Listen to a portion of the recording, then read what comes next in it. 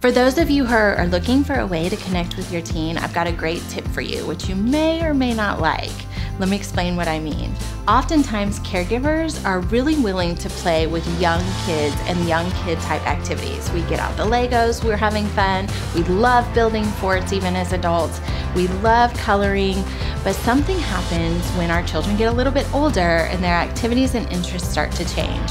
So teens might not be into Legos, but they might be into a specific type of music or a specific TV show. And as caregivers, we start to back off because it might not be something we're interested in.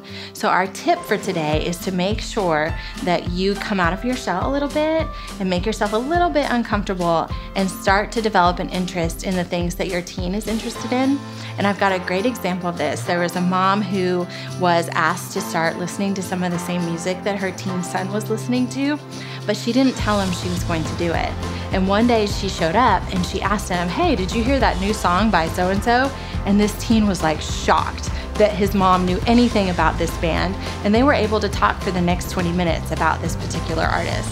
So, making sure that you develop an interest in what your teen is interested in is really gonna help you connect with them.